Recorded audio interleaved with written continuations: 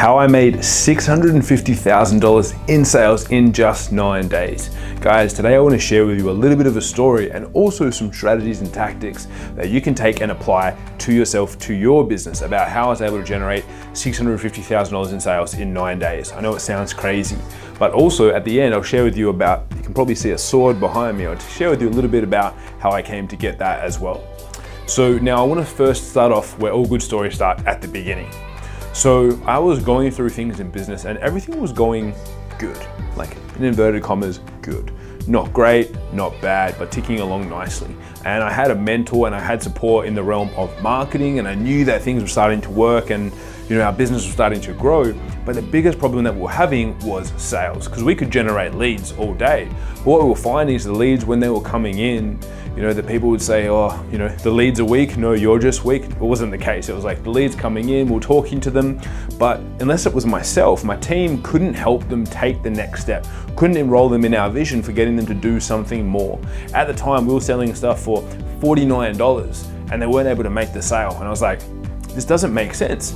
So I looked back and go, every time that we've hit a brick wall, every time that things have slowed down, what did we do? And it's like, well, we found a mentor, we found a coach, we found someone to support us to go to that next level.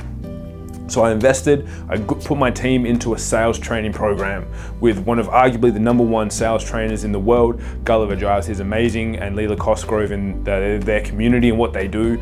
Uh, it was absolutely amazing what we were able to generate. Sent our team over to work one on one with Gulliver, worked great for a little bit. And we started getting results and they came back and things happened and we had a change of sales staff and it's like, oh, we're back at the beginning again. I feel like we haven't pushed forward.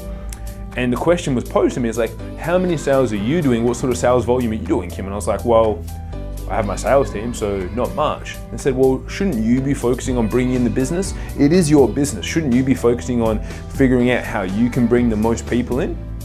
And I was like, okay, good point. Point taken. I'll take that on board. What should I do? Well, they say, Kim, we have a program, right? We have a sales program. It's called Residential. It's nine days where you come, you hang out with us, and you do sales for nine days straight. And I was like, okay, like I'm out, I'm not doing any work for nine days. That already scared me a little bit. I'm like, my team's gonna be falling apart back home. What's gonna happen? And they said, no, that's like, this is what we do. And they said, okay, it's going to be $30,000 to do this program and I just had like a dry throat immediately. I was like, $30,000? Like that's the most expensive thing I've ever heard of. And normally up until then, any programs or masterminds, I was like, yeah, we could put it on payment plans, you know, so we'll pay it off as we go. And then like, it needs to be paid upfront within the next three weeks.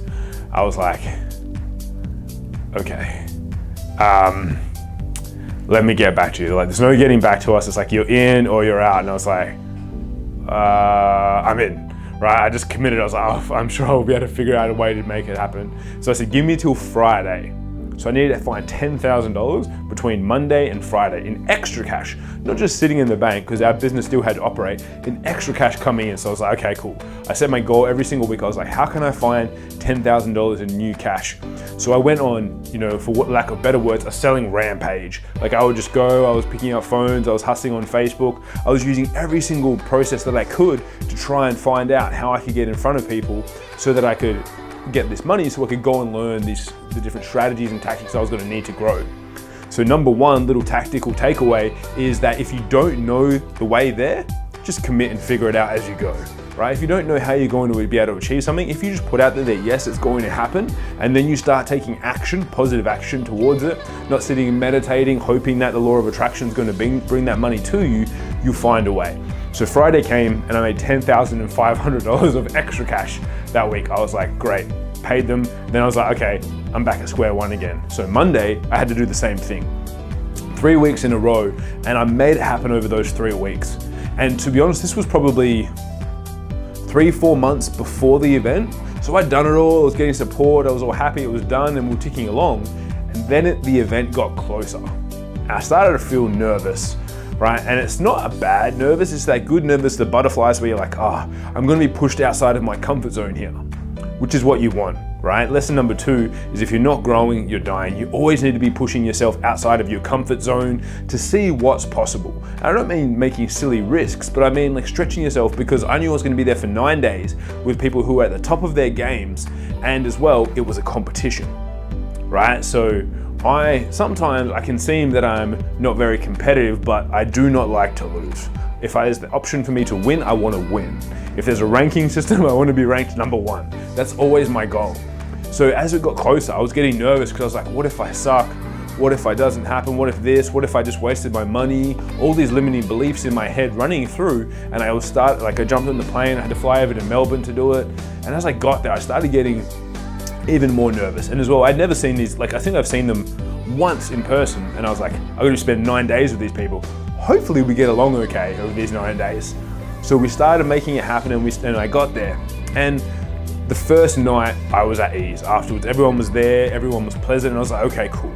I was like, look, worst case, very worst case, I've spent 30 grand, I'm gonna get something out of this. All I need is one little piece of information, one little thing to take away from this, and it will be worth it. Because the next point, the next piece of feedback for you guys, next tactical thing to think about is if you ever invest money in anything, you only need one thing to make it worth it. You only need to act upon one thing to make that whole investment worthwhile. So it doesn't matter if you spend 10, 20, 30, 50, $100,000 on getting information, getting insight, coaching, and mentorship. If you look for the opportunity within it and you use it, then it's all worthwhile. But then competition, the month, like we had a couple of days of prep, we went through, they shredded us to pieces on our numbers and everything like that, what we knew about our businesses. And then we started we kicked things off. And as we started, I was like, okay, I want to be most prepared.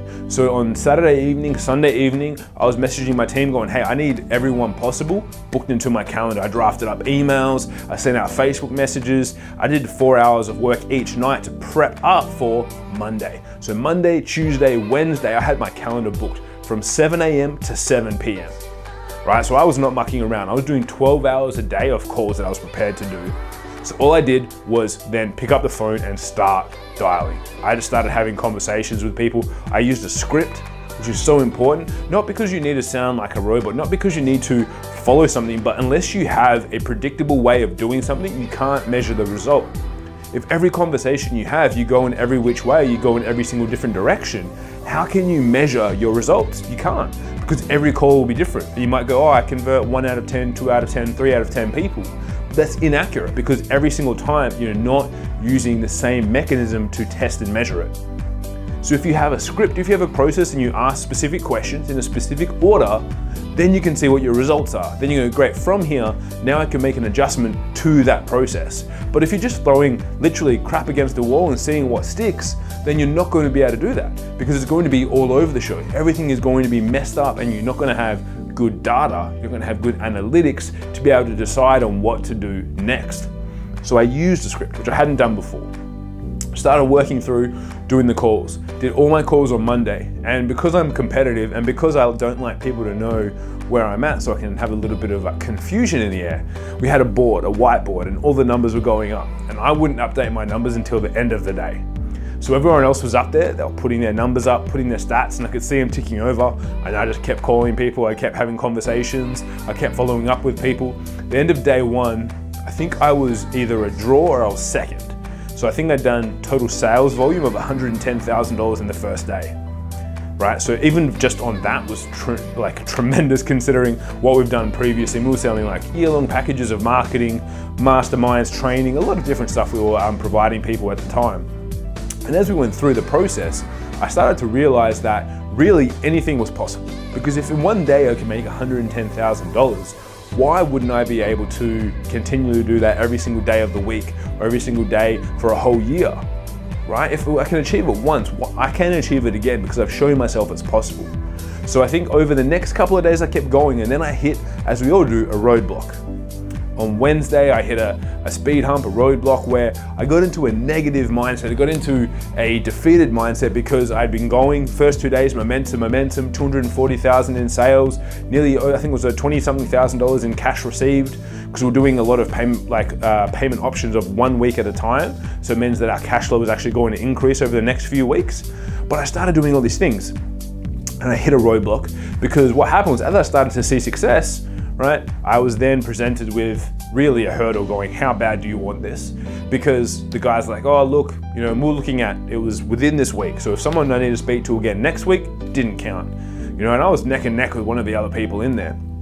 So going along, things were ticking, ticking, ticking. And I was like, okay, all right, let's see what we can do. Let's see how we can improve this. And I got hit with, I need a, we need a full proposal. We need a meeting with our directors. We need all these things, four, five, six different things that had to have happen. And I was like, okay, we can do that. And I got off the phone and I was just so frustrated and annoyed. I don't know if you've ever felt frustrated and annoyed something goes wrong in business, not that right, that you've been hoping to do and you've been hoping to jump over all these hurdles and you feel like you're flying and then you quickly come back to earth. But I had that feeling and I walked around for a little bit and all I knew was that it's not going to help me if I stay in the exactly same state that I am right now. It's not going to give me any benefit. So I put on my one of my favorite songs, which at the time was All I Do Is Win, right? So it was pretty uh, prominent to the game that we were playing at the time. So I put that on, moved around a little bit, shook it out, and then I kept going. And the rest of the day was tremendous. The rest of the day went amazingly.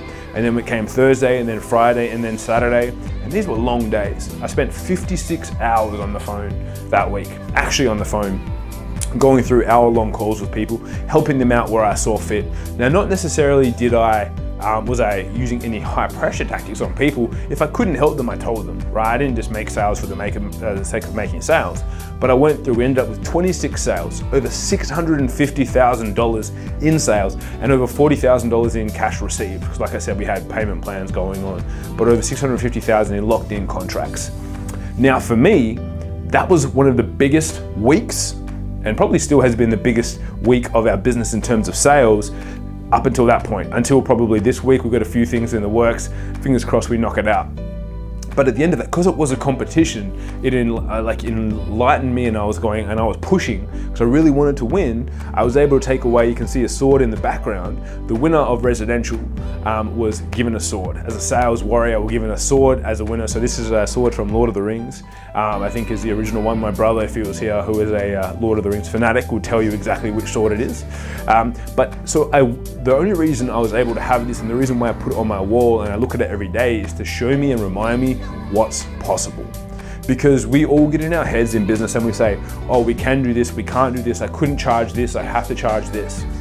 And in reality, none of that is true. None of that is true.